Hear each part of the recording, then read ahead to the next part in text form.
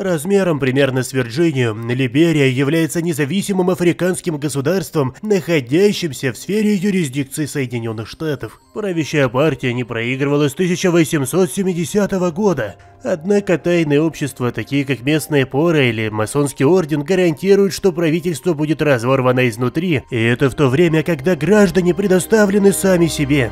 Из-за неудачных проектов и огромного количества долгов экономика находится в руках Файрстон, а президент Кинг едва ли сможет спасти эту страну от катастрофы. Первым шагом на пути к достижению стабильности этого, безусловно, самобытного государства станет ряд решений по ограничению деятельности секретных обществ. Если в Соединенных Штатах они являются лишь предметом обсуждений, то здесь они образуют параллельную политическую и правовую систему всей Либерии. К сожалению, Либерия является не только бастионом свободы, равенства и братства, но и ко всему прочему рассадником вольнодумства и теорий заговора.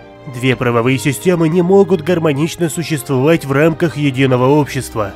Пора и масоны – отвратительные безбожники, они должны быть запрещены немедленно. Разумеется, в одночасье изменить мировоззрение тайного круга будет невозможно, однако уже сейчас они вынуждены уйти в подполье. Двум смертям не бывать, а одной не миновать. Мы должны обратиться к большей экономической мощи, чтобы спасти тонущий корабль экономики. Но кто подошел бы на эту роль больше всего? Мы могли бы связаться с мировым гегемоном в Берлине или нашими старыми хозяевами в Вашингтоне, округ Колумбия. Но всегда есть третий путь – продать душу дьяволу. Таким образом, мы могли бы заключить сделку с Харвери Файерстоном. Его компания могла бы помочь нам продержаться на плаву хотя бы какое-то время. Мы больше не хотим присмыкаться перед нашими старыми угнетателями или другими сильными мира сего.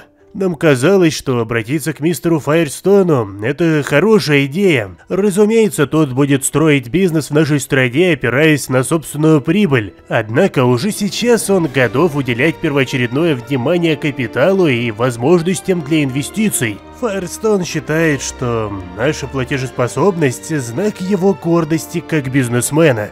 Харви соглашается выплатить 3 миллиона долларов в виде казначейских облигаций и ликвидных активов. Взамен он просит правительство предоставить льготы на его собственную компанию, а также на его товарищей в лице других американских компаний, в том числе на Ford Motor Company. Однако далеко не всех устраивает существующий порядок вещей.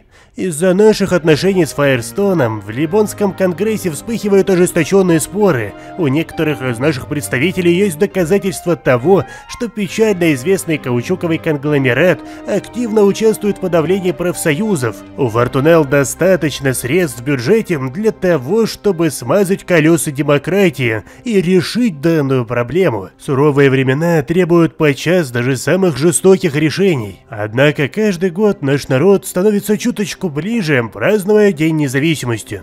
А пока наш народ ликует, давайте восстановим железную дорогу. К тому же новое соглашение с Форт и Файрстон требует этого. Армии займутся патрулированием, и благодаря этому местные диверсанты не смогут разрушить наши новые рельсы. А когда обе компании смогут организовать достаточное количество рабочих мест для наших граждан, недовольство утихнут сами собой. У любого решения всегда есть последствия. Масоны всегда были мощной силой в Либерии, особенно в партии истинных вигов. Когда на всю нацию обрушились новости об истинных масштабах коррупции короля, подробно описав изнанку скрытых сделок его режима и защиты невольничества, масонская ложа быстро дистанцировалась от своего бывшего союзника. Из-за этого Кинг также был вынужден уйти в отставку с поста великого мастера ложи. Без поддержки масонов Кинг практически обречен. Однако Firestone Rubber давно является экономическим союзником ТВП и администрации самого короля. Согласно нашему партнерству, они суют деньги в карманы Кинга и руководства ТВП, а мы игнорируем сообщения о так называемых нарушениях прав человека. К несчастью, недавно выходит книга об Обаме и восстании Мау-Мау. Выйдя в печать, книга вызывает шок по всему миру, и несколько стран, включая США, призывают все правительство ТВП уйти в отставку. Разумеется, Кингу ничего не остается, кроме как бороться с этими ложными обвинениями. Невольничество – это один из самых ненавистных институтов во всей Африке, и Либерия ничем не отличается. К сожалению, теперь, когда тайна правительства раскрыта, население взбунтовалось. Хуже того, социалисты воспользовались этой возможностью, чтобы сплотить народ против короля, и в результате приобрели значительную популярность. Однако ничто не истина. Если социалистов не остановить, мы потеряем контроль над страной. Используя грязные деньги и офшорные банковские счета, изобилующие капиталом, Харви Фай Файрстоун собрал армию наемников и расплатился почти со всеми крупными фигурами ТВП в стране. Фактически теперь он вцепился железной хваткой во всю Либерию. У него есть оперативная база, средства и армия, и он готов совершить переворот. Фаерстоун способен спасти страну от когтей красной угрозы. Синдикалисты набирают силу, но его работа еще не завершена. Старый пройдоха должен как можно быстрее укрепить свою власть. Однако, как бы то ни было, с течением времени Либерия преобразится до неузнаваемости. Мистер Фаерстоун готов явить себя миру во всем великолепии. Однако не время праздновать победу. Афролиберийцы и Пора объединяются против Фаерстона. Подавить нелояльных оказывается трудной задачей, однако Фаерстоун отбрасывает красных. Казалось бы, что более никто не может оппонировать ему на равных. Он может продолжить реализовывать свой глобальный инфраструктурный и промышленный проект. К тому же у него открывается новая ветка интересных фокусов, которые мы с вами обязательно исследуем. Для того, чтобы сдержать радикализм, обеспечить инвестиции в каучуковую компанию, Firestone продвигается вперед и начинает напрямую вмешиваться в либерийскую политику. Сейчас будет установлен новый порядок, при котором американско-либерийские интересы снова будут поставлены под угрозу. Рано или поздно нам нужно будет определиться с направлением кампании, но пока что мы с вами займемся развитием промки и получим фабрики и военные заводы. Как только нам практически удалось стабилизировать экономику, на Америку обрушилось бедствие. Там началась гражданская война доселе невиданных масштабов. На данном этапе мы можем немного, однако конституционалисты получат всю необходимую помощь и поддержку со стороны Либерии. Увы, но гражданская война в Америке больно ударит и по нашей экономике. Огромное количество беженцев уже скопилось у нашего порога. Миграционный кризис – это действительно серьезная проблема, однако в сей смутный час мы обязаны принимать всех, особенно тех, кто может держать в руках оружие и способен работать. Помимо этого в страну рекой польются новейшие технологии и специалисты. Мы сможем превратить Либерию в настоящий современный африканский оазис. Технологии и прогресс совсем скоро пойдут в этой стране рука об руку.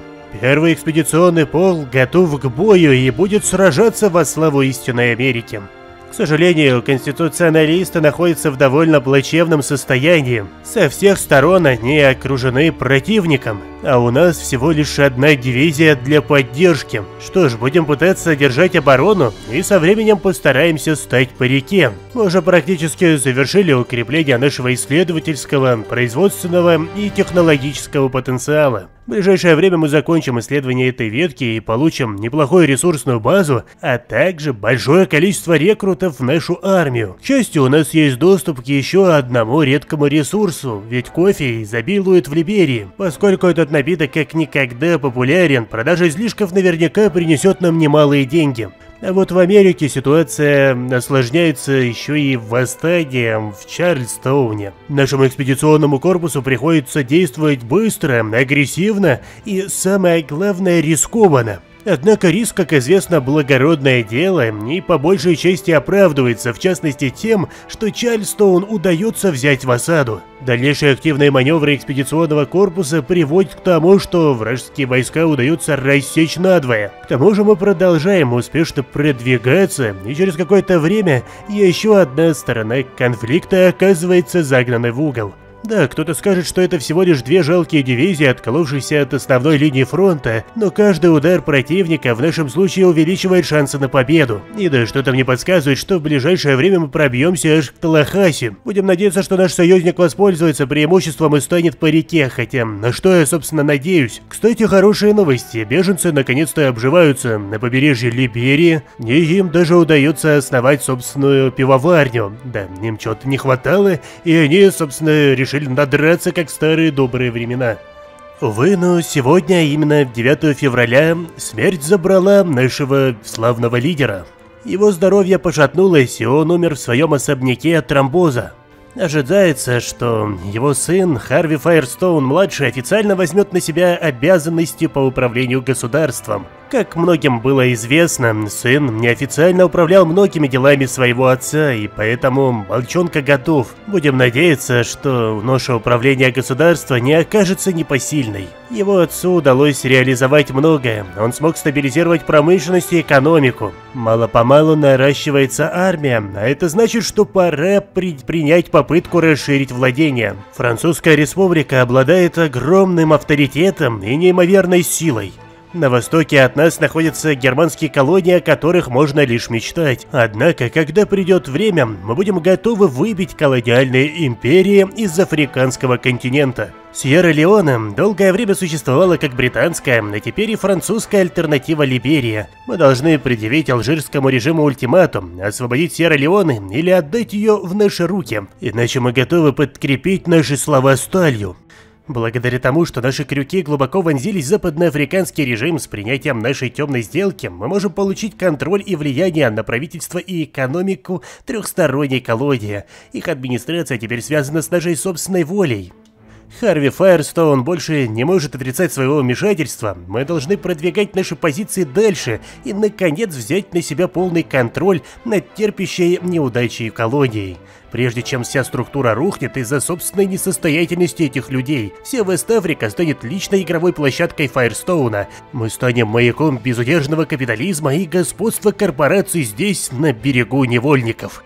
Сильное заявление, конечно, и что-то нам подсказывает, что французы с нами не согласятся. Однако теперь у нас есть достаточное количество дивизий, и наши амбиции уже не выглядят такими уж жалкими. Разумеется, это все те же вооруженные работяги, только в немецкий профиль. Скорее всего, эти войны не выдержат затяжных боев или осад, но при достаточном численном превосходстве способны показать неплохие результаты в бою.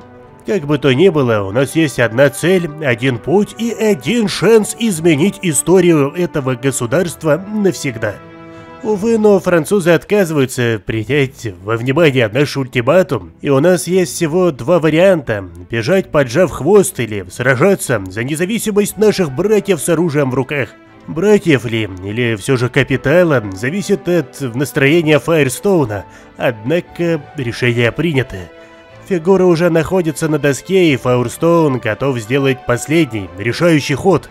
И да, Либерия должна знать своих героев, поэтому на своем экране вы видите именно тех, кто предложил мне реализовать это прохождение. Спасибо вам, ребят, мне прям очень понравилось переводить и проходить эту кампанию. Предлагаю в комментариях вам пофантазировать, какой будет наша новая Либерия и какие фокусы вы бы хотели, чтобы я все-таки выбрал и реализовал.